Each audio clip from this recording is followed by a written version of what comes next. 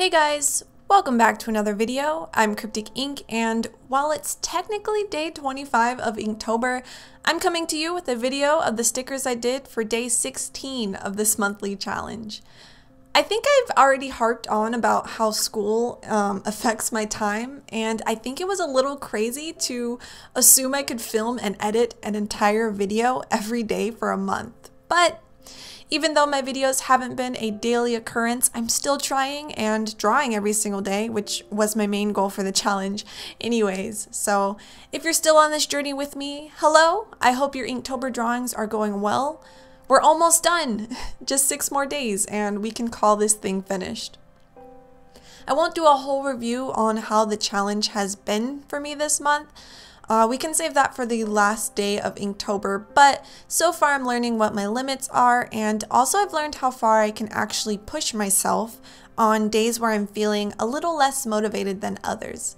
It used to be that I'd easily give up and not draw anything for a long time, but now I feel I can dig deep and keep at it if I have to.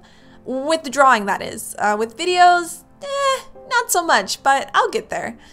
I think once a week is looking to be more realistic for me after this challenge. If I ever do a month long challenge, I will be sure to prepare some videos in advance because, like I said, doing the YouTube things was three times the work, but it's been fun. Hard, but fun. so, these stickers I did were a way for me to do something a little more lighthearted and enjoyable. I enjoy making random doodles on a sheet of paper and not having to worry about composition sometimes. It was a good way for me to try out something new, um, to try out some new ways of packaging stickers as well. I used it as a chance to make a prototype sticker pack and to try out some new sticker paper I brought at the beginning of the month. I really want to make the stuff in my shop look nicer and less like I make it out of a single room in my home, but I'll get there. I definitely need to work on taking better photos um, to post, but running an online shop is still a learning experience for me. If anything, I'll put them in a package as a treat with whatever originals and prints I may sell at the end of the month. I'd love some feedback and tips on the quality, if anything. If you think they look nice or could be improved, let me know.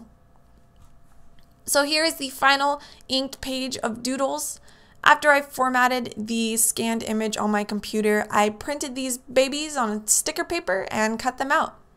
It took a couple tries because my printer was making them blue instead of black and white, which was weird, but eventually I figured it out by putting them in grayscale. Um, I got these little baggies for future stickers also earlier in the month and thought they would be perfect to put them in.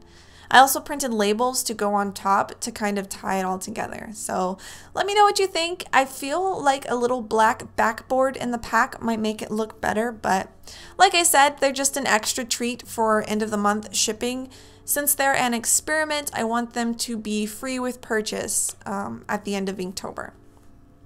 So yeah, I hope you liked today's little video. I've got a lot of videos backed up that I still need to edit, but I'm excited to show you all what I've been working on. And if you've got any questions or topics you'd like me to discuss, please let me know in the comments because sometimes I just run out of things to talk about. Uh, it is what it is. Thank you all so much for watching today's video. I'm playing catch up, but I'll see you guys in the next one. Bye!